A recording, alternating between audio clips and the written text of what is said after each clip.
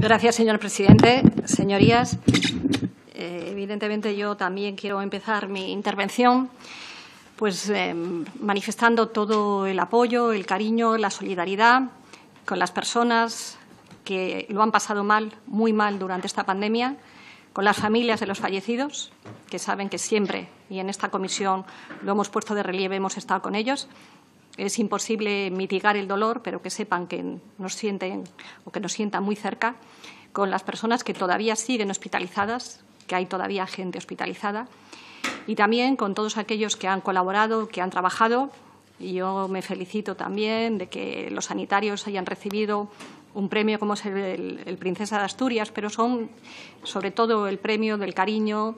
de los ciudadanos de este país que tienen una deuda de gratitud inmensa con ellos, como lo tienen también con tantísimos otros profesionales, desde transportistas, eh, personas que en distintos ámbitos han colaborado. A ellos me refería a mi comparecencia en esta, en esta Cámara, en esta comisión el día 27 de abril, a las Fuerzas de Seguridad del Estado y, obviamente, muy en especial a las Fuerzas Armadas. Luego me referiré a la Operación Balmis.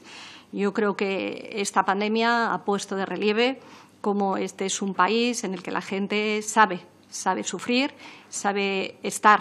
en los momentos difíciles, pero sobre todo yo quiero hacer una llamada y una mención muy especial a la esperanza, a reconstruir este país, a reconstruirlo desde la unidad, desde el diálogo, desde la convivencia. Y me parece que esta comisión es una comisión en donde ese espíritu de diálogo, de, convivencia, de trabajar conjuntamente, pues puede ser un lugar muy, muy adecuado para ello. Eh, naturalmente, luego me referiré con más, más detalle, el agradecimiento que transmití, y me uno a lo que decía el presidente, el agradecimiento total y absoluto a los hombres y mujeres de las Fuerzas Armadas, esos hombres y mujeres de las Fuerzas Armadas que cada día en todas las misiones que realizan, en sus misiones permanentes, están sirviendo a los ciudadanos, eh, que, lo, que lo están haciendo también, como tendremos ocasión de poner de relieve en las misiones que realizan en, el extranjero, pero que son ese ejemplo de dedicación, de entrega, de, generosidad, de pensar en los demás y son ese buen ejemplo, ese magnífico ejemplo para esa, esa etapa que hemos de empezar de diálogo, de convivencia y de construcción, reconstrucción de este país. Como decía el presidente, comparezco ante esta Cámara en cumplimiento de lo que establece el artículo 18 de la Ley Orgánica de la Defensa Nacional para informarles sobre el desarrollo de las misiones que las Fuerzas Armadas realizaron a lo largo del año 2019. Esta era una comparecencia que, como saben, se tenía que haber hecho pues, eh, en, el mes de marzo. Por las razones evidentes no, no se ha podido hacer y ya llevamos casi medio año del 2020, del transcurso de 2020, que también ha, afectado algunas de las misiones, sobre todo en lo que hace referencia a la incidencia de la pandemia. Por eso, en la medida de lo posible, trataré de referirme a esas posibles incidencias que hubiera podido haber. En todo caso, lo que, como decía el presidente, lo que sí que hemos querido, porque haya la máxima transparencia, y el viernes se envió eh, una ficha de todas y cada una de las misiones en donde en este momento están nuestras Fuerzas Armadas. Ahí tienen un detalle máximo de cada una de las misiones. Hemos querido que haya la máxima transparencia. Por eso, quizá a lo mejor en mi comparecencia no voy a ser tan detallista porque está precisamente en cada una de las fichas. En todo caso, si hubiera algunos detalles que no hubiera expuesto o que no estén las fichas, pues yo encantada de, proporcionárselos y, si no fuera posible en este momento, eh, de proporcionarlos cuando, cuando volvamos al despacho. Y por una sencilla razón, porque como me han oído siempre decir y he dicho desde que ayer precisamente hizo dos años que me hice cargo del Ministerio de Defensa, eh, las Fuerzas Armadas son la esencia del Estado, no pertenecen a ningún partido político, son de todos y cada uno de nosotros. Nadie tiene ni eh, el derecho de capitalizarlas y todos tenemos la obligación de apoyarlas porque, en definitiva, cuando las apoyamos, apoyamos unos valores muy importantes que son la democracia, la paz, la libertad y la seguridad. El año 2019, como saben, estuvo marcado precisamente porque celebramos el 30 aniversario de la participación de nuestras Fuerzas Armadas en misiones de paz en el extranjero. Eh, esas misiones son una herramienta esencial de promoción y defensa de valores. En un mundo como el que vivimos, en un, mundo que no conoce eh, fronteras, esa globalización, nada de lo que ocurre nos puede ser ajeno y el compromiso con la paz, con la libertad, con los valores democráticos en todo el mundo no le puede puede ser ajeno a España y, por tanto, no le puede ser ajeno a las Fuerzas Armadas, que son una parte esencial e integrante de nuestra sociedad, con, viven y sienten la sociedad como la viven y sienten cualquier ciudadano y como se ha demostrado precisamente en esta pandemia y en la Operación Malmes. En enero de 1989, un contingente formado entonces por tres militares españoles llegaba a Luanda para participar en la supervisión de la retirada de las tropas cubanas de Angola como observadores de la misión de verificación de Naciones Unidas. Enero de 1989. Desde esa fecha hasta hoy han sido más de 188.000 hombres y mujeres de las Fuerzas Armadas y de la Guardia Civil las que han participado en esas misiones. Ha mostrado la excelencia de las Fuerzas Armadas, también de la Guardia Civil, pero sobre todo han demostrado el compromiso, como decía antes, y no me cansaré de repetir, con la paz en el mundo. Es una tarea la que han hecho en condiciones y en situaciones difíciles, muy difíciles muchas veces. 186 hombres y mujeres han perdido su vida sirviendo a España en estas misiones y, en definitiva, sirviendo a la reconciliación y a la paz en el mundo. Por eso no puedo empezar esta comparecencia añadiendo a lo que ya he dicho, sin dar mi agradecimiento máximo a los familiares de esos hombres y mujeres que dieron la vida en las misiones, esas familias que los perdieron, pero que saben que murieron defendiendo unos valores nobles, unos valores que les dignifican a ellos, que dignifican a las Fuerzas Armadas y que dignifican a todo ciudadano demócrata de buena fe. También quiero tener un reconocimiento especial a las personas que resultaron heridas como consecuencia de algunas de estas actuaciones. Y lo he dicho muchas veces, pedir disculpas a todos aquellos, que sé que son algunos, que se consideran que no han sido suficientemente bien tratados, que han sido en ocasiones olvidados. A esas personas, disculpas y estamos tratando en la medida de lo posible, que a veces no es posible, de compensar aquella situación en la que hubieran podido encontrarse. Hecha esa primera y necesaria manifestación de reconocimiento y agradecimiento a los hombres y mujeres que dieron su vida eh, en estas misiones y a, aquellos que resultaron heridos, en esta mi comparecencia voy a hacer unas consideraciones más generales, puesto que los detalles están en, las fichas que tienen. Decir con carácter general que las misiones en las que participamos atienden a tres grandes objetivos estratégicos. Uno primero, que es proporcionar estabilidad y seguridad en zonas cuyo colapso, además de un gran perjuicio para la población local, supondría un riesgo para la seguridad internacional. En segundo lugar, la lucha contra el terrorismo, que sigue siendo un desafío global, porque sí, nos gustaría que no fuera así, el terrorismo existe. Y, en tercer lugar, ejercer la disuasión y defensa colectiva del territorio euroatlántico en el que pertenecemos. En el 2019, el panorama geoestratégico pues, se ha visto afectado por competiciones estratégicas entre grandes potencias, Estados Unidos, China y Rusia, tanto en el ámbito geopolítico como en el ámbito económico. Y eso ha tenido, obviamente, una importancia en la configuración de las distintas estrategias existentes. Todo ello ha hecho que los escenarios, que ya de por sí son bastante complicados, se hayan complicado mucho más. Como decía antes, el terrorismo está, sigue ahí. La proclamada derrota del Daesh en términos territoriales o convencionales no ha eliminado la amenaza terrorista en absoluto y lo seguimos viendo cada día. Y además,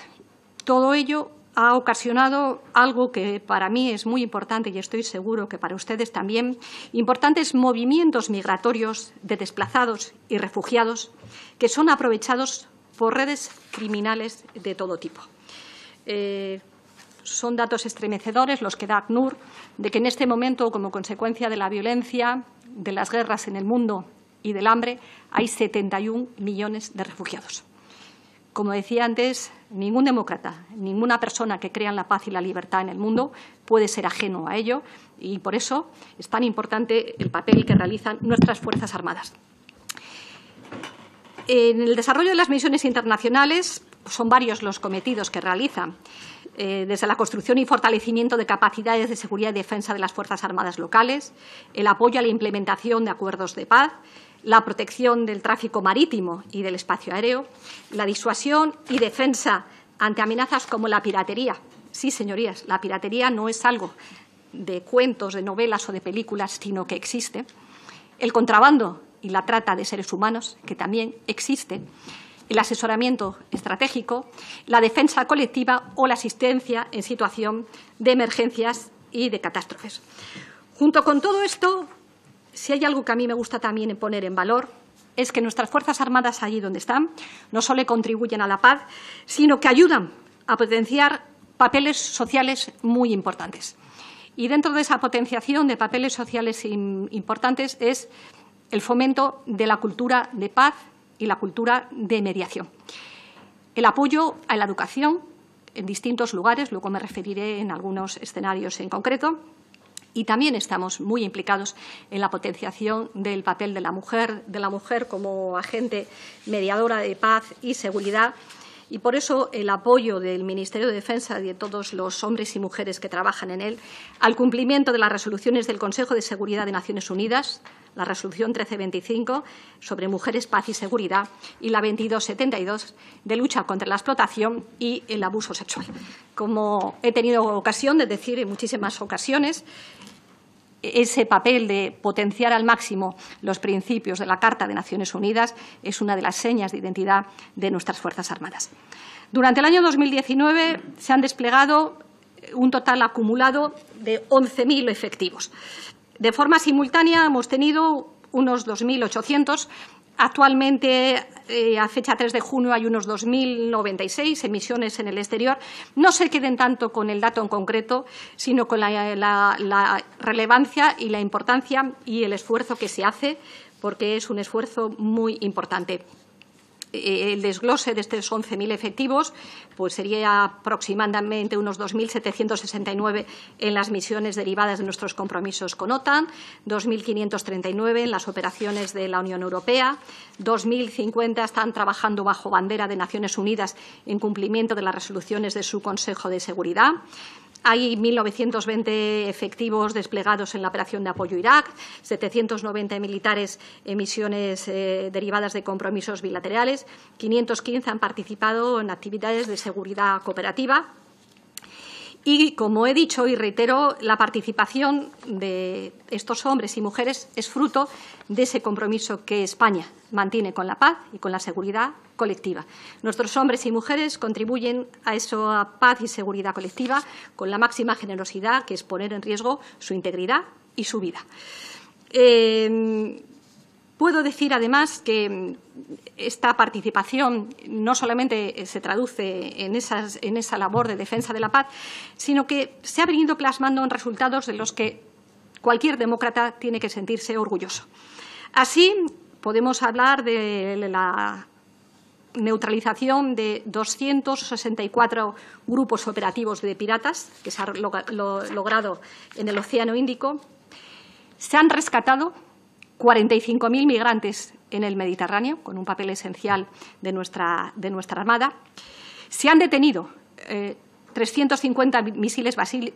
balísticos eh, detectados por eh, nuestra unidad Patrio, que ha protegido a una población civil. Y luego la contribución a construcción de capacidades de seguridad y defensa en el Sahel, Irak y Afganistán, donde se han adiestrado un total de 100.000 efectivos y donde además ha ayudado al traslado de 8.000 toneladas de carga. Creo que este es un resultado del que, como decía antes, nos tenemos que tener satisfechos se ha realizado durante el año 2019, básicamente con algunas matizaciones que luego diré. Mantenemos el mismo compromiso en el año 2020, aunque se ha visto afectado, obviamente, pues, por la incidencia de la COVID en los países en los que, en los que estamos. Estas son las líneas generales de la actuación, esas líneas generales de compromiso de hace 30 años por la paz, la libertad y la seguridad en el mundo. Como tienen en las fichas que les hemos remitido, eh, las Fuerzas Armadas participan bajo una serie de paraguas, las Fuerzas Armadas españolas bajo una serie de, paraguas. Me voy a referir a los más importantes. Empiezo, como no podía ser de otra manera, por eh, aquellas misiones que realizamos bajo el mandato de la Organización de Naciones Unidas y que atienden las dos en las que estamos a un objetivo estratégico de proporcionar estabilidad y seguridad. España en este momento participa en, Líbano, en la Fuerza Provisional de las Naciones Unidas, UNIFIL, A esta operación se contribuye de forma permanente desde el año 2006. Tiene una misión que es monitorizar permanentemente el cese de las hostilidades y la situación en la Blue Line, apoyar a las Fuerzas Armadas libanesas en sus actividades y en este momento puedo decir que a fecha 3 de junio tenemos eh, desplegados un total de 610 efectivos. En la Brigada Española se integran también personal de la India, Kazajistán, Indonesia, Nepal, El Salvador, Serbia y Brasil, lo que pone de, relieve esa implicación de Naciones Unidas. Como decía antes, eh, el objetivo es que las propias Fuerzas Armadas del Líbano controlen la situación de seguridad sin la necesidad de la presencia de Naciones Unidas. Mm, desgraciadamente, la situación en Líbano, todos lo saben, es una situación difícil, complicada. A los problemas propios del conflicto allí existente se une la situación interna y desde ese punto de vista creo que la labor que están realizando nuestras Fuerzas Armadas en Líbano es absolutamente poner, mm, hay que ponerla de relieve y de manifiesto. Hay que decir también que como consecuencia de la pandemia eh, el contingente español que está en este momento tenía que haberse reincorporado, haber vuelto a España, sin embargo se ha, se ha retrasado. Eh, el siguiente contingente que está en este momento preparándose, creemos que llegará aproximadamente a partir del 15 de junio. No quiero decir fechas exactas, pero bueno, se ha retrasado como consecuencia la vuelta a España de esas exigencias de Naciones Unidas puedo decirlo y estoy segura de que, a él no le importará que lo diga aquí, que cuando ha hablado con el jefe del contingente, el general Yago de la Legión, cuando yo sé que, porque muchas veces se cree que los militares no son hombres y mujeres con familia y con sentimientos y que han vivido situaciones duras porque tenían a sus familias aquí y, no sabían la evolución, pero cuando le he dicho, bueno, pues se, puede, se va a retrasar su, regreso a España, él me ha dicho, eh, estamos encantados de servir a la paz, de servir a España y lo hacemos sin ningún problema. Yo creo que ese es ejemplo de generosidad del que cada día deberíamos aprender todos. Yo, desde luego, cada día, como ministra de Defensa, aprendo de la generosidad de nuestras Fuerzas Armadas. Mm, quiero decir también que, además de este papel que tiene la misión de paz, están realizando actividades muy importantes de colaboración con la población civil que contribuyen al desarrollo de la zona. Yo misma tuve la ocasión, cuando estuve en Líbano, de visitar los CIMIC, los centros que tienen eh, allí con, en las que se ayuda y se da clase a niños. Eh, estamos trabajando en 56 proyectos de impacto rápido o difusión de enseñanza del idioma español. Eh, hemos firmado un, un acuerdo de colaboración eh, con el Instituto Cervantes y, créanme que ver cómo se está estudiando español, cómo nuestras tropas, como elementos del, Instituto Cervantes enseñan el idioma español, es algo muy, muy importante. Como lo es también algo que puede parecer menor, pero que allí no es menor, la asistencia eh, veterinaria con un programa, un programa que le hemos dado el nombre de Rocinante también y que estamos ayudando precisamente a esas mejoras agrícolas eh, que pueda tener la población del Líbano. También tengo que decirles que para mí personalmente fue una, cuando visité el Líbano, el homenaje que se hizo a los fallecidos en Líbano eh, por parte del ministro de Defensa y por parte de las eh, autoridades libanesas, pues fue muy, muy reconfortante. Eh, estamos en otro proceso de paz. Bajo el mandato de Naciones Unidas, que es el de Colombia. En él se materializa la contribución española y tiene como misión verificar la reintegración de los excombatientes de las FARC en la vida política, social y económica colombiana. Eh, se nos ha pedido por parte del presidente de Colombia que la misión continúe hasta el 20 de septiembre de 2020. En este momento hay siete observadores que están allí desplegados. En la Unión Europea eh, las misiones se desarrollan con una finalidad, proporcionar estabilidad y seguridad. Entre otras misiones, me voy a referir, digo, de una forma sin perjuicio de que luego si quiere más datos, porque los tienen ahí recogidos. En primer lugar, a la operación Atalanta. En la operación Atalanta contribuimos a la disuasión, prevención y a la represión, a la represión de los actos de piratería frente a las costas de, de Somalia y algo que para mí es muy importante también, a la protección de los barcos del Programa Mundial de alimentos. Eh, también protegemos la seguridad del tráfico marítimo. Como actuaciones destacables, el 25 de abril se produjo la detención de cinco piratas somalíes que habían atacado a un pesquero coreano y uno español, procediendo a la liberación de la tripulación. Eh, igualmente hemos asumido el liderazgo desde marzo del 2019 del eh, mando estratégico operacional desde el cuartel general OHQ de Rota. Hemos participado también con el destacamento Orión con un avión de patrulla marítima desplegado en Djibouti. En este mismo escenario geográfico, en el terrestre, se desarrolla la misión de adiestramiento de la Unión Europea, EUTM Somalia, que tiene como misión el asesoramiento estratégico y mentorizado de autoridades del Ministerio de Defensa de Somalia. La situación en Somalia es muy crítica, lo saben, pero eh, a pesar de ello estamos instruyendo a 426 militares somalíes. Otra de las operaciones que tenemos en marcha, eh, que teníamos en marcha en el año 2019, era la operación Sofía. Era una operación en la que España estaba muy implicada porque era una operación que trataba de luchar contra las redes de contrabando y tráfico de seres humanos en el Mediterráneo y apoyaba la implementación del embargo eh, de armas a, Libia. No ha sido posible su continuación. Eh, su mandato concluyó el 31 de marzo de 2020, pese a que España hizo todo lo posible para que continuara, porque nos parecía que salvar vidas humanas en el Mediterráneo y contribuir al embargo de armas era muy importante. Sin embargo, no ha sido posible. Y, en todo caso, quiero volver a poner en valor los más de 45.000 migrantes rescatados en el Mediterráneo, muchos de los cuales, como decía antes, lo fueron por los buques de la Armada Española. Otra de las misiones de la Unión Europea es la que se desarrolla en la República Centroafricana, que tiene por objeto el desarrollo de las capacidades de seguridad y asesoramiento a nivel político y estratégico en Centroáfrica. España contribuye a esa misión con seis militares en el cuartel general en Bangui. Otra de las misiones más importantes que tenemos en este momento es en Mali, con los comprometidos a asesorar, entrenar y proporcionar formación militar a las Fuerzas Armadas de Mali. Eh, Mali, saben ustedes, la situación en la que se encuentra. Es un país donde el avance del terrorismo es, importante y, lo que supone para toda la extensión del terrorismo eh, en el Sahel. Eh, tengo que decir y poner en valor que en el año 2019 se logró repeler un ataque terrorista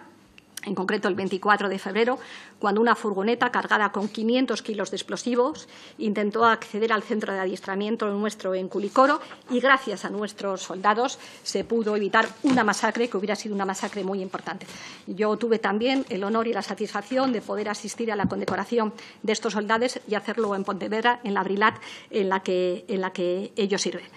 Mm, en total, en 2019 han participado, eh, sobre la base del Ejército de Tierra, 912 militares españoles en Mali. yo creo que la situación en África no puede sernos ajena. Eh, están a nuestras puertas eh, el ataque del terrorismo, pero sobre todo algo que yo insisto mucho, que para mí es muy importante, la violencia sexual como arma de guerra. Eh, aquí tuvimos, vino una teniente coronel del ejército maliense, en la que agradecía al ejército español como su participación en Mali había evitado muchas violaciones y muchas agresiones sexuales a mujeres. Desgraciadamente, lo decía antes, la violencia sexual es un arma de guerra, un arma terrible contra las mujeres y contra los niños. Y créame que yo me siento muy orgullosa de saber que nuestros hombres y mujeres en las Fuerzas Armadas, en lugares como Mali, están haciendo que el papel de la mujer, de los niños, pueda ser un papel relevante y, sobre todo, que no sean utilizados como armas y como violaciones en el ámbito de la guerra. Otra de las misiones que tenemos también en la Unión Europea es la misión Altea, que tiene lugar en Bosnia y Herzegovina, eh, con el mandato de apoyar al gobierno de Bosnia y Herzegovina. Eh, junto con estas hay actuaciones que se desarrollan también de transporte eh, aéreo eh, para cooperar en las, misiones de la República Centroafricana y de Mali y apoyo a Naciones Unidas, a MINUSCA, MINUSMA y también al G5 en el Sahel. Estas misiones de transporte son esenciales y fundamentales para poder consolidar la lucha contra el terrorismo. En el ámbito eh, de, OTAN seguimos desarrollando aquellas operaciones que, bajo mandato de la OTAN y de una coalición de países, tienen como objetivo estratégico luchar contra el terrorismo y que se desarrollan principalmente en Afganistán, Irak y en el mar Mediterráneo. En Afganistán eh, tenemos en este momento, está en este momento la operación Resolute Support. Eh, hay que decir que en Afganistán la idea fundamental que hay siempre en todas las reuniones de OTAN y de todos los países es que todos los países entramos juntos y todos los países saldremos juntos, eh, lo que se ha dado ya y se conoce como in together, out together. Eh, esa misión tiene una finalidad fundamental, es consolidar la capacidad de Afganistán para ejercer su soberanía y para que Afganistán encuentre la paz necesaria. en este momento yo puedo decir que parece que están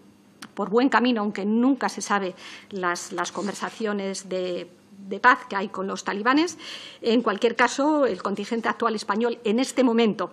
es de 36 militares, que está desplegado en el área de Kabul. Eh, teníamos 68, pero han vuelto como consecuencia de la, de la COVID. Y esta mañana que despachaba con el GEMAD, que hoy me acompaña y al que quiero darle las gracias por todo el, darle las gracias a él en nombre de todas las Fuerzas Armadas por todo el trabajo que realizan. Probablemente eh, volvamos a llegar a 68 o 70 miembros del contingente, porque créame, algo que yo he aprendido también en las reuniones internacionales a las que voy, es que las Fuerzas Armadas españolas se caracterizan por su profesionalidad que son pedidas y queridas en todas partes. Y en la misma línea que les decía, en la visita que yo hice a Kabul, cuando el presidente Ghani me recibió y me dijo que gracias a la labor de fuerzas como las españolas, el papel de las mujeres, ver a mujeres sin, burga, sin burka en Kabul, créame que es algo muy importante. Y aquí quiero también aprovechar y hacer un recuerdo muy especial a las familias de los fallecidos, en el accidente del Ya 42. Recientemente trajimos los últimos restos que habían en Turquía. Eh, a petición de algunas familias se les ha dado descanso en, una cripta que hay, una pequeña cripta en la, en la, catedral castrense, porque las familias así lo pidieron, y mi homenaje, mi reconocimiento y mi cariño a todos ellos. Eh, en cuanto a Irak, seguimos eh, contribuyendo a la coalición contra el Daesh en la operación Inherent Resolve, en este momento eh, la situación del COVID en Irak está afectando al desarrollo de, la operación. También tengo que decir que durante el año 2019 el personal español adiestró a más de 10.000 efectivos de las fuerzas de seguridad iraquíes. Como consecuencia del cumplimiento de las misiones, en concreto de la misión que, del objetivo que había del Centro Building Partner Capacity, eh, el contingente que está en Besmaya eh, en este momento tiene solamente 155 hombres, pero se va a proceder a un replanteamiento de la presencia española en la zona que va a conllevar una readecuación de los distintos efectivos. Eh, lo que sí que está claro es que en la misma línea de In Together, Out Together en la que hicimos en Afganistán, España, como socio serio y comprometido que es, va a continuar en Irak siguiendo las, directrices de, la misión de, de OTAN porque creemos firmemente en ese compromiso, en la paz, en la paz en Irak en este momento. Así que puedo decir que aunque se ha disminuido la presencia de, nuestro contingente en Besmaya, que a fecha de junio es de 155, pero vamos a continuar en, Irak eh, y lo vamos a hacer pues con las unidades que pertenecerán a las Task Force Toro, con sus helicópteros, realizando misiones de apoyo y de transporte, y también con eh, lo que es el mando con lo que son las operaciones especiales que están realizando un magnífico trabajo. En el, a fecha de hoy, como digo, hay 155 hombres y mujeres en, Besmaya y en total en Irak hay un total de 265 efectivos. Estamos un poco, como decía antes, también a, a, la vista de lo que ocurra con la pandemia en todos estos lugares y la propia readecuación que OTAN haga de esta operación. Eh, también en la OTAN, en el ámbito de OTAN, hay una última de este bloque operación, que es la Sea Guardian, que tiene como contenido principal garantizar la seguridad marítima mediante un claro conocimiento del entorno marítimo en unas claras funciones de disuadir y luchar contra el terrorismo. Esta es una misión que se desarrolla sin fuerzas en permanencia y basa su ejecución en unas fuerzas asignadas en momentos concretos y determinados cuando eh, se, nos, requiere para ello dentro del área de operaciones, que son las aguas internacionales del mar Mediterráneo. Eh, continuando en este marco de OTAN, paso a referirme a aquellas operaciones que, insisto, voy un poco rápido porque sé que lo tienen todos ustedes ahí, con mucho más detalle del que yo puedo darles, las que atienden al objetivo estratégico de disuasión y defensa, de defensa. Perdón. En concreto, uno es la misión de presencia avanzada reforzada de la OTAN. Eh, en este caso concreto, y algunos de ustedes, yo no sé si algunos de los que están aquí, pero España despliega, e integra y sostiene una fuerza mecanizada acorazada eh, en Letonia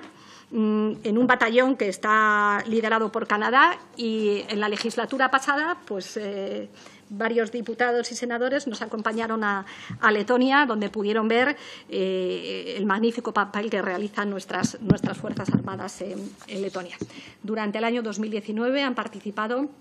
un total de 747 militares pertenecientes al Ejército de Tierra. Otra iniciativa de la Alianza Atlántica en materia de defensa colectiva es la misión de Policía Aérea del Báltico, eh, cuyo objetivo es la salvaguarda de la integridad del espacio aéreo de los Estados miembros de la Alianza Atlántica.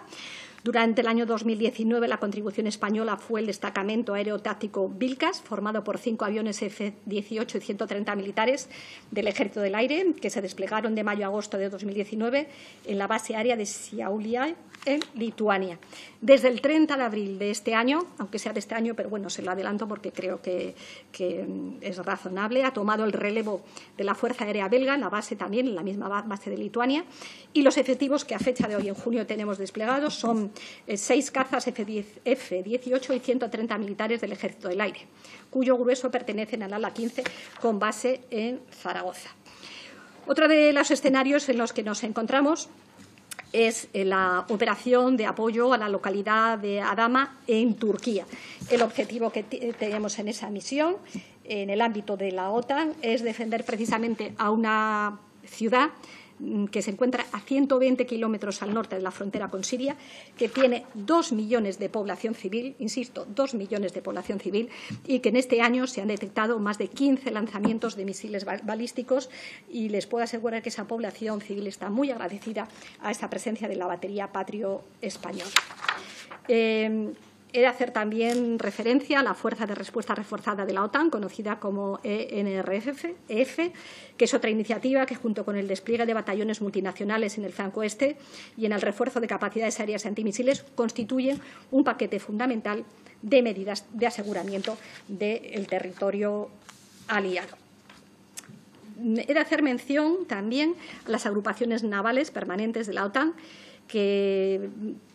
cuentan con la presencia española, que son un elemento básico importante de las fuerzas de respuesta muy rápido, y proporcionan a la OTAN una capacidad marítima continua en operaciones y otras actividades. España contribuye a lo largo, contribuyó a lo largo del 2019 proporcionando buques en diferentes periodos de tiempo. En total, 907 efectivos de la Armada Española estuvieron en estas misiones.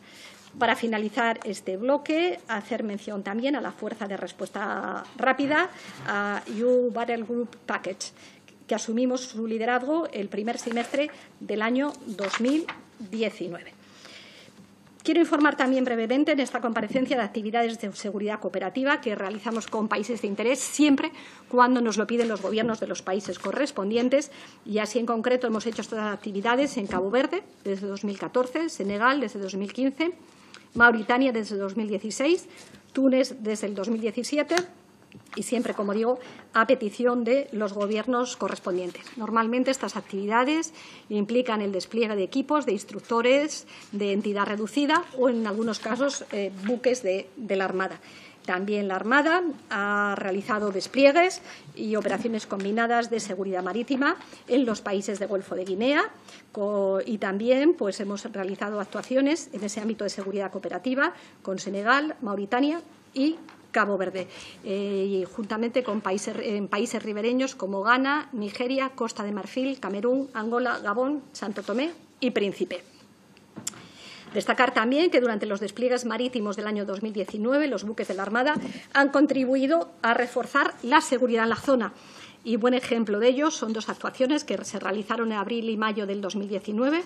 En abril, el patrullero P-71 de la Armada Española, el Serviola, liberó una embarcación de bandera nigeriana y a los 12 miembros de su tripulación, que habían sido tomados por piratas en aguas del Golfo de Guinea, que se dieron a la fuga a bordo de un esquife de alta velocidad cuando vieron aproximarse el patrullero español. Por su parte, el 6 de mayo, en colaboración con una fragata de la Marina de Guinea Ecuatorial, se dio comienzo también a la operación para la liberación de un buque de bandera de Malta que también había sido asaltada por piratas y que se dieron a la fuga ante la presencia del de, eh, buque de la Armada Española. Para ir concluyendo, quiero informarles también de que la Unidad Militar de Emergencias, los grupos 43 y 45 de Fuerzas Aéreas, han participado en situación de emergencias y catástrofes en el exterior sobre la base de los acuerdos bilaterales existentes, como es el caso de Francia, Portugal y Marruecos, a través del mecanismo de protección civil de la Unión Europea o ante la necesidad de determinadas capacidades que nos ha pedido Naciones Unidas. Así, en Europa hemos eh, ayudado en Portugal y en Grecia en aquellos incendios de que todo el mundo recuerda de una enorme magnitud, se llamó a nuestras Fuerzas Armadas Españolas precisamente para que ayudaran en estos países. Lo hemos hecho también en Guatemala, lo hemos hecho también en, Bolivia, porque, insisto, nada ajeno, nada lo que pasa en el mundo cuando hay dramas de estos nos puede, nos puede, ser, eh, nos puede resultar indiferente. También en Mozambique eh, créame que también una de las situaciones más emocionantes es cuando el Gobierno portugués nos pidió el apoyo de nuestras eh, fuerzas eh, armadas, en este caso del Ejército del Aire, para poder llevar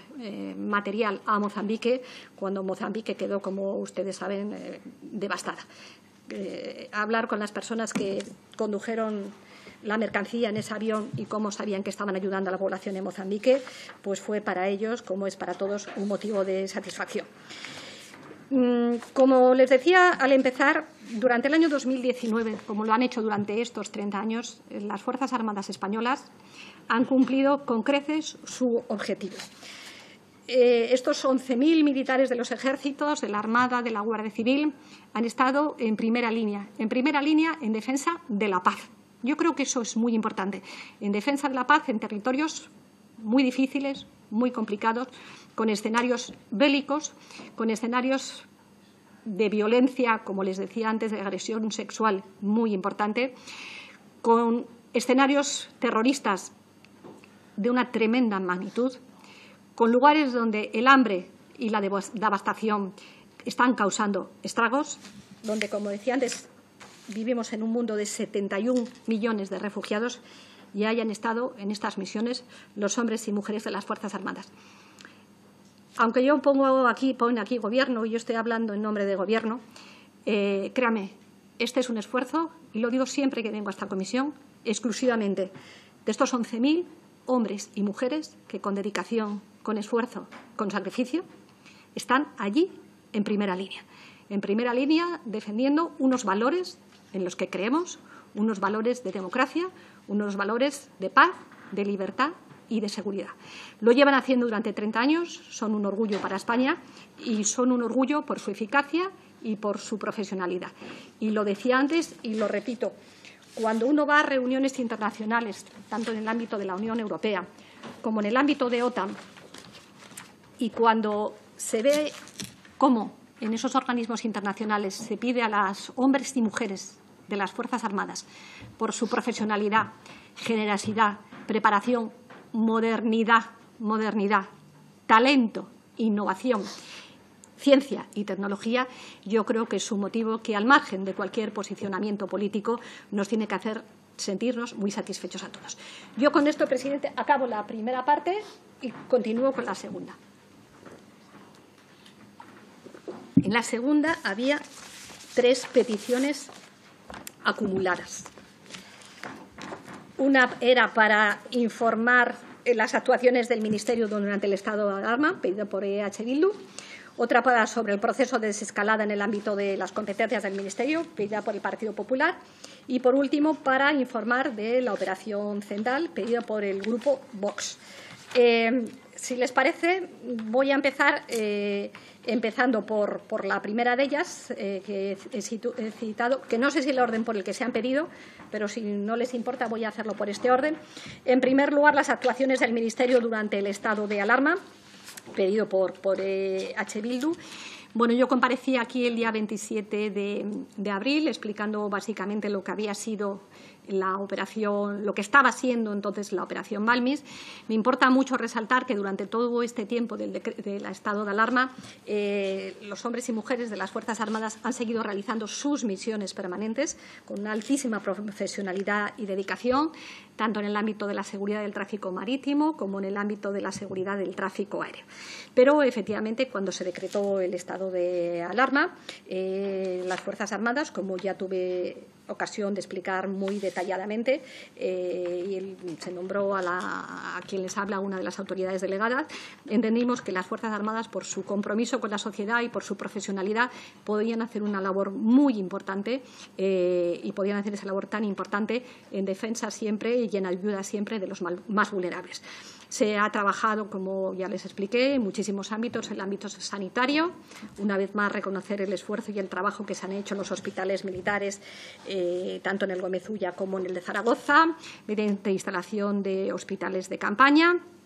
se ha trabajado eh, en otros ámbitos, como ha sido el ámbito del transporte, ese transporte tan importante que se ha realizado eh, pues de toneladas de, material que se han traído de otros países, pero también, y déjenme que lo diga aquí, eh, transporte de, por ejemplo, ayudando al Banco de Alimentos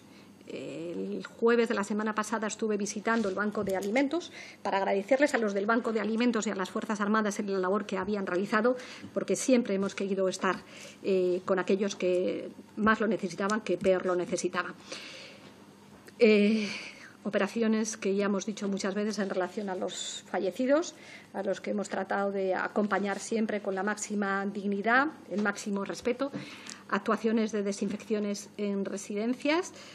poniendo siempre en valor la importancia que tienen y que esta sociedad tiene que dar a las residencias de las personas de la tercera edad, porque, como he dicho muchas veces, a ellos se lo debemos, en ellos eh, está eh, paradójicamente nuestro futuro, porque ahí reside también la sabiduría y por eso no podemos mirar hacia otro lado y por eso las Fuerzas Armadas estuvieron tan implicadas en, actuaciones como las, las desinfecciones de residencia y de otras infraestructuras. También hemos estado apoyando a las Fuerzas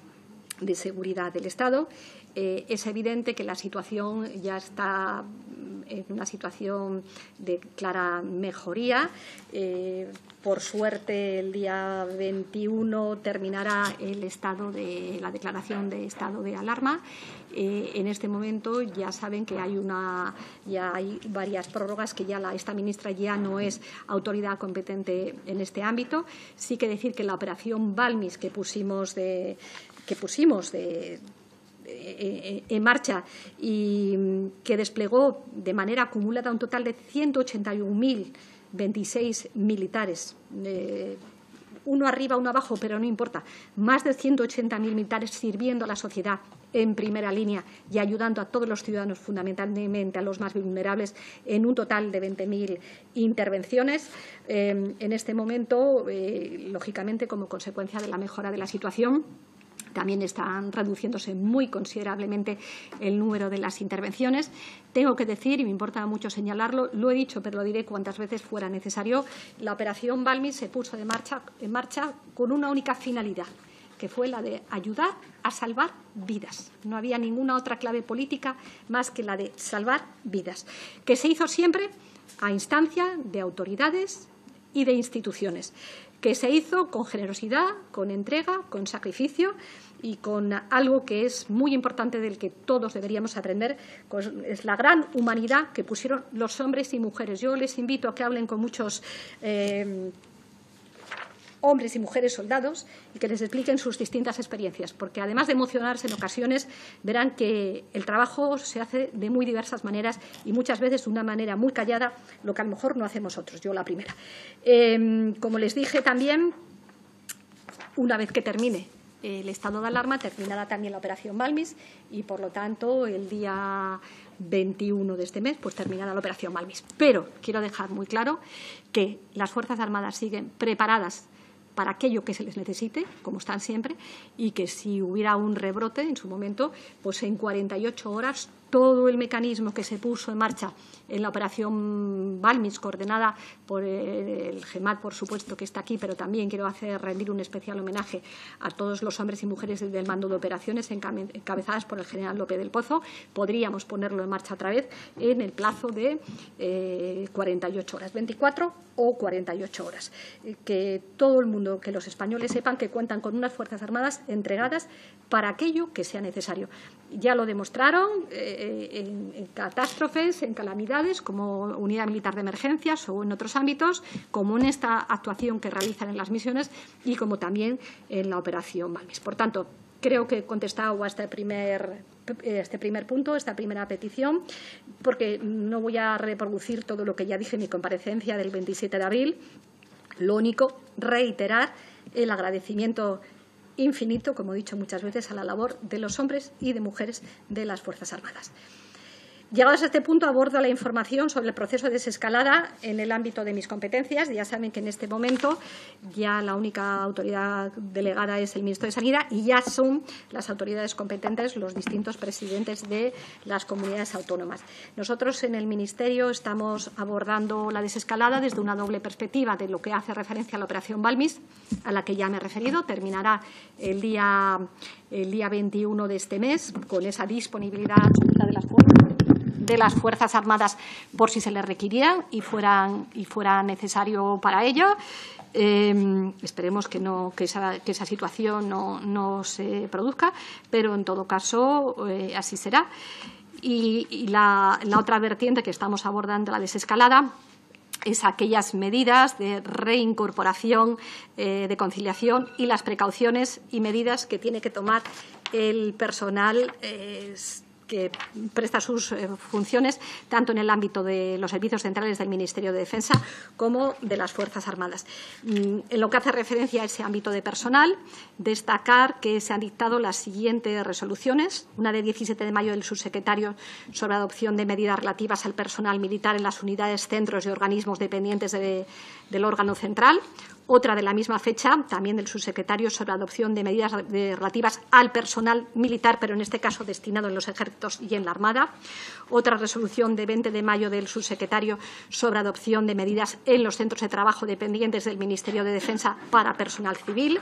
con las que se ha pretendido dar un marco normativo a los distintos ámbitos dependientes del Ministerio de Defensa que permitan la reincorporación del personal civil y militar a sus puestos de trabajo. Además, en el ámbito de la gestión de personal, una vez levantada la suspensión de los plazos administrativos acordados por la disposición adicional tercera del Real Decreto de 14 de marzo, se ha procedido a reanudar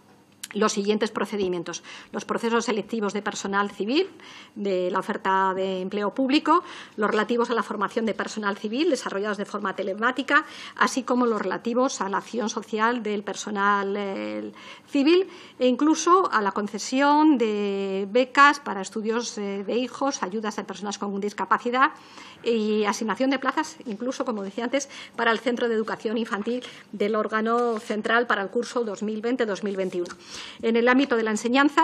Eh, se ha requerido un considerable esfuerzo de adaptación de una estrategia de comunicación presencial y física a una enteramente digital que se ha desarrollado con base a dos elementos, un stand virtual y un programa de encuentros online para la reanudación de las actividades docentes presenciales que son necesarias para la finalización de los cursos. Se han publicado las siguientes disposiciones. La Instrucción 17-2020, 11 de mayo de la Ministra de Defensa, por la que se autoriza el desplazamiento e incorporación de los alumnos del último curso de la Escuela Militar de Sanidad de la Academia Central de la Defensa y de los alumnos que debían realizar las prácticas de vuelo. Otra resolución de 13 de mayo del subsecretario en desarrollo de esa instrucción otra resolución de 21 de mayo del subsecretario, dictando normas para la incorporación de los alumnos de los últimos cursos de la enseñanza de formación de la escala de oficiales para la integración o adscripción al Cuerpo General de la Armada. Otra resolución de 28 de mayo del subsecretario, dictando normas para la incorporación de alumnos a distintos centros docentes militares del Ejército de Tierra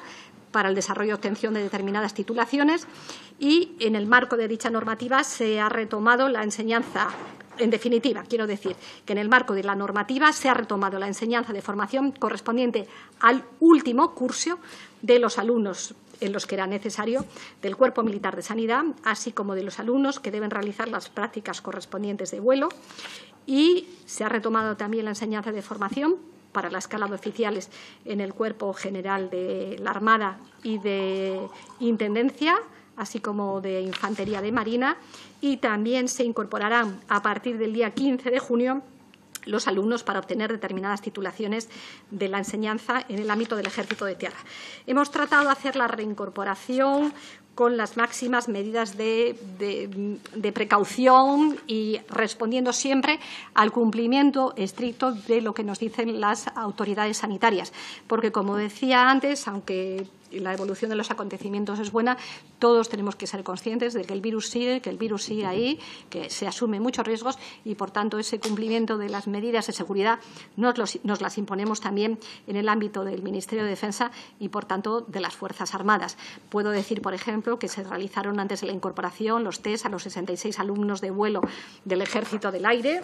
Eh, esto se realizó los días 18 y 19 de mayo a 20 alumnos del Ejército de Tierra, especialidad aviación del Ejército. El 1 de junio se realizaron los test a 90 alumnos de cinco, cursos de la Escuela eh, Naval Militar. También me importa y creo que es importante decirlo en línea con o enlazando con la primera de las comparecencias sobre las misiones, que todos aquellos contingentes que van a ir a, reemplazar las misiones están realizando una cuarentena muy, muy, muy estricta, eh, precisamente para que las personas que van en esos contingentes lleven las, máximas medidas de seguridad y de prevención. En esto somos absolutamente rigurosos con el cumplimiento de estas medidas de seguridad y también de la cuarentena correspondiente. En cuanto a los procesos de selección que, había en marcha, eh, Estamos en este momento, eh, había un proceso de selección de tropa y marinería que estaba en la primera fase del primer ciclo, eh, cuando se declaró el estado de alarma. 15.790 candidatos habían pasado por la primera fase, faltaban 343 para completar la misma. Se dictó una instrucción de 11 de mayo, una instrucción de la ministra de Defensa, que ha autorizado el desplazamiento de esas 300 y pico personas que quedaban para que se pueda realizar eh, culminar esa primera fase y se está elaborando precisamente un programa por parte de la Comisión Permanente de Selección. Algo que me importa también poner de relieve en el ámbito de la sanidad, eh, aparte de reiterar nuevamente el esfuerzo y el agradecimiento a todo el personal sanitario del Hospital Gómez-Ulla de Zaragoza, es decir, que en ambos eh, hospitales está empezando a retomar ya la, normalidad. Eh, se están haciendo cirugías, comenzando por las urgentes y también las oncológicas y las preferentes, porque evidentemente durante todo este periodo, como consecuencia de la saturación que hubo, pues muchísimas eh, operaciones oncológicas no se pudieron realizar. Estas se están realizando ya. Se han reanudado las primeras consultas externas. Se están efectuando los procesos diagnósticos con una cierta normalidad y abordando la reprogramación de las intervenciones y consultas que quedan anuladas. También está empezando ya a trabajar el Centro de Vacunación Internacional, que ha retomado gradualmente la actividad de vacunación y el Centro de Transfusiones. Eh, también tengo que hacer especial mención al apoyo veterinario, al Centro Militar de Veterinaria, que ha realizado un trabajo muy importante eh, en cuanto a las pruebas de detección por medio de PCR y que está planificando igualmente el reinicio de la campaña de inspección de instalaciones de riesgo de transmisión de legionelosis. Igualmente, quisiera resaltar que la Inspección General de Sanidad del Ministerio de Defensa ha generado en su ámbito de competencia y eh, muy próximo a las instrucciones sanitarias toda una serie de instrucciones y normas que, obviamente, pues, si cualquiera de ustedes tiene interés, pues eh, es un protocolo del 20 de abril para la reincorporación a las unidades de personal militar, otras medidas de prevención a adoptar en el ámbito de las Fuerzas Armadas que se dictó el 6 de mayo, una guía de apoyo psicológico para la desescalada que se dictó el 12 de mayo, eh, unas normas y recomendaciones sobre medidas para minimizar el riesgo de transmisión del COVID que se dictó por la Inspección General de Sanidad y la Subinspección General de Apoyo Veterinario. Eh, igualmente quiero dar gracias a la Inspección General de Sanidad por todo el trabajo que ha realizado. También en este momento se está desarrollando un protocolo de medidas preventivas del COVID-19 en las competiciones deportivas militares, siguiendo las recomendaciones del Consejo Superior de Deportes. Igualmente, se han abierto al público eh, el Archivo General e Histórico de Defensa y la Biblioteca Central de Documentación de la Defensa.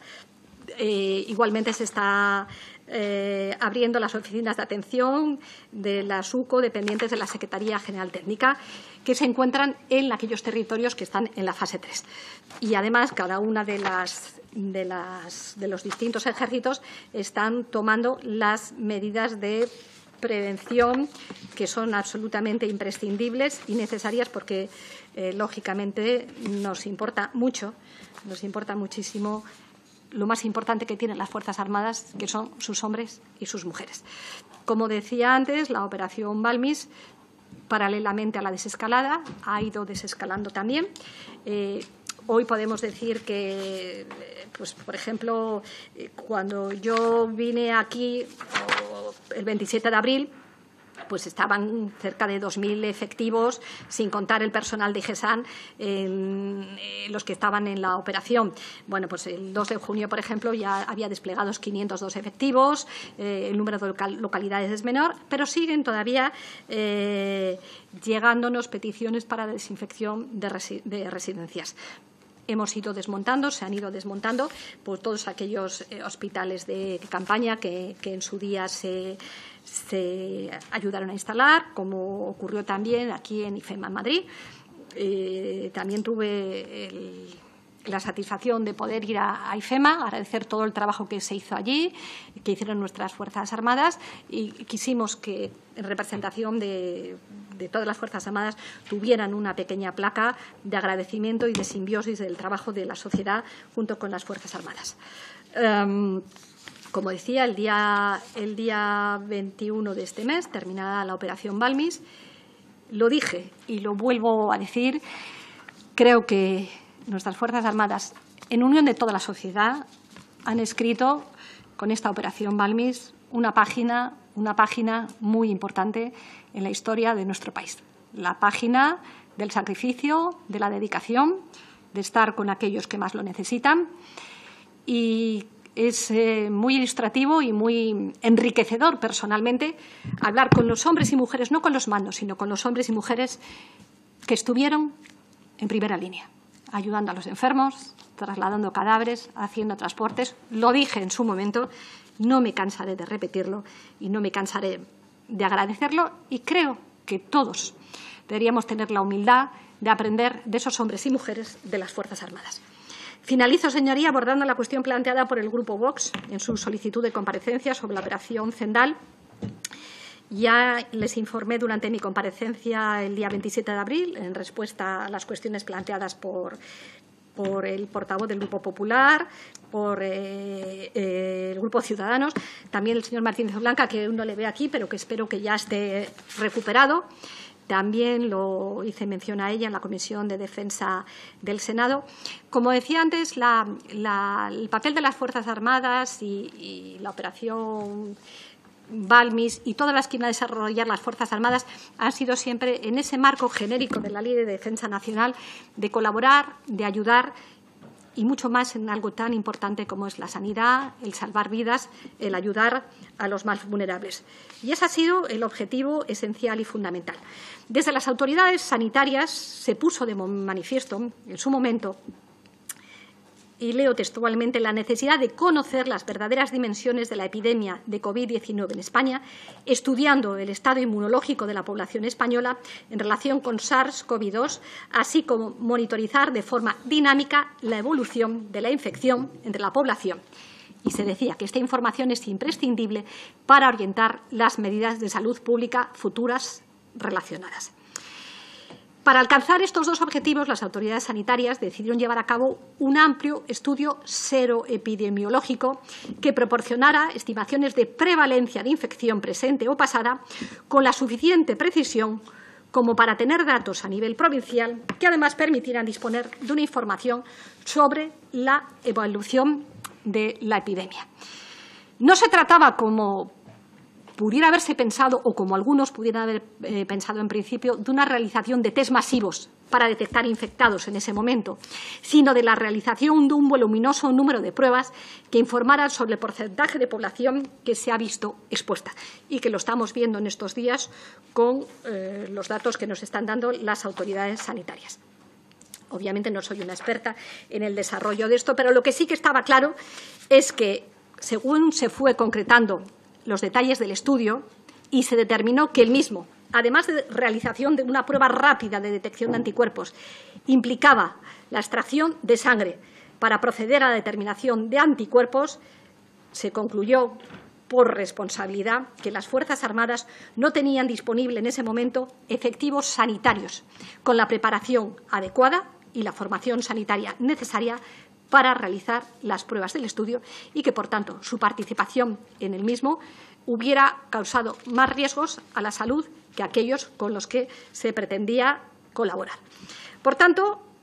puedo decir que, además de que en ningún caso hubo una petición formal, sino que fue el ofrecimiento de decir si es necesario, aquí estamos, en ningún caso las Fuerzas Armadas estaban preparadas, ni era su función tampoco, realizar ese estudio que no era de test concretos, sino ese estudio en esas condiciones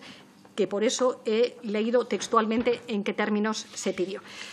Yo sé que algunas veces se ha querido ver injerencias o que esta operación eh, se, se, suspendió. No, mire, se suspendió por sentido de la responsabilidad. Porque si hay algo que yo he aprendido también, y con ello voy a terminar mi intervención, porque si hay algo que yo he aprendido y hemos aprendido, aparte de que la vulnerabilidad, pero en el ámbito de, las Fuerzas Armadas, y, es una reflexión que hemos hecho conjuntamente muchos ministros de, Defensa de Unión Europea y de OTAN, eh, es que esta, esta epidemia ha puesto de relieve carencias en la sanidad militar. Y eso es así. Y esas carencias en la sanidad militar han sido en España, en Europa y en el mundo entero. Y por eso, en la reflexión que hacemos en esas reuniones de ministros de Defensa, vamos a abordar, y, la semana que viene tenemos una primera reunión en el Ministerio de Defensa, la sanidad militar. Quizá pues, eh, teníamos una sanidad militar, eh, evidentemente, cuando se trataba de, hospitales eh, pues, preparados para estar en los hospitales, pero también teníamos una una sanidad que está más preparada para misiones, pero que no estaba tan preparada para una pandemia como la que hemos vivido. Bueno, pues yo creo que quizá esto es algo que esto es algo que debemos ir planificando, debemos irlo, irlo teniendo en cuenta porque nos hemos dado cuenta de la vulnerabilidad que tenemos y nuestras Fuerzas Armadas han demostrado precisamente, precisamente que es absolutamente imprescindible que estén preparadas y el número de, médicos que tengamos es, importante. Se me planteó también, bueno, esto creo que viene en la pregunta, ¿no? Lo, hago ya. Finalmente creo que había una pregunta y así les contesto a la pregunta y ya había una pregunta sobre, en relación a, las personas que fueron activados, que el Grupo Parlamentario Popular, en relación a los reservistas y a las personas que fueron activadas.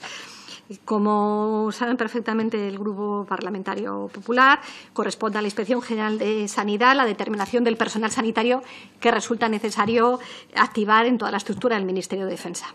Siguiendo las peticiones que se formuló por la Inspección General de Sanidad, y con respecto al personal en situación de reserva, han sido activados un total de 54 componentes del Cuerpo Militar de Sanidad que estaban en situación de reserva, de los cuales 40 son médicos, 10 son enfermeros, 2 son veterinarios y 2 farmacéuticos. Han sido comisionados mayoritariamente a los, a los hospitales militares de Madrid, Zaragoza y a la Unidad Militar de Emergencias.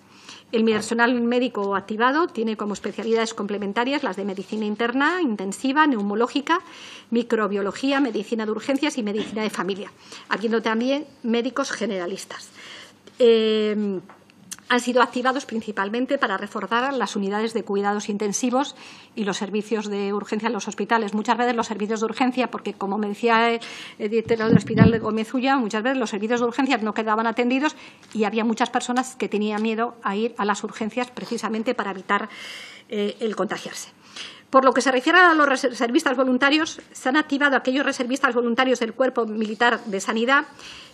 eh, que nos ha pedido, se han sido solicitados por la Inspección General de Sanidad. Pero claro, aquí es importante resaltar que el personal reservista voluntario del Cuerpo Militar de Sanidad están, desempeñan su actividad profesional mayoritariamente en centros sanitarios del Sistema Nacional de Salud, por lo que en las circunstancias actuales derivadas del COVID estaban ya trabajando y no estaban disponibles para ser activados. Pero, evidentemente, estaban haciendo un gran trabajo, como han hecho todos los sanitarios de nuestro país. Así que, aunque no se les activó, no se les activó porque ya estaban trabajando eh, en el ámbito de la salud pública. En todo caso, eh, ha habido diez peticiones expresas de activación por parte de la IGESAN y, en concreto, han sido un médico. Puedo decir que muchísimos de los que estaban trabajando nos decían nos gustaría ir, pero ya estamos aquí, pues están haciendo un gran trabajo. Fueron un médico, dos farmacéuticos, como refuerzo en el Centro Militar de Farmacia, en Colmenar Viejo, cuatro enfermeros, con los siguientes cometidos, refuerzos en botiquines en unidades, refuerzo del Centro de Transfusiones de Defensa, refuerzo del Instituto de Medicina Preventiva, un veterinario como refuerzo de la UME y dos psicólogos. También se ha puesto, se ha puesto de relieve el papel importante de los psicólogos, eh, hablando con,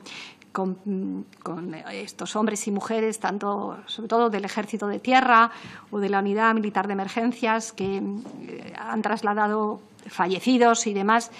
cómo han necesitado también ellos su apoyo psicológico, porque han vivido unas situaciones muy duras, pero ahí han estado.